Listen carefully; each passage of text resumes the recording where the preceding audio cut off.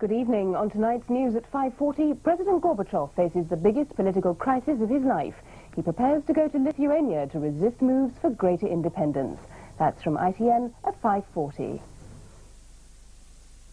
In HTV News this evening, the alleged betting scandal involving Swindon Town. The players are relaxing by the seaside before tomorrow's big cup game in Bristol, but the club itself is facing serious FA charges. This story and the rest of the day's events in HTV News at 6.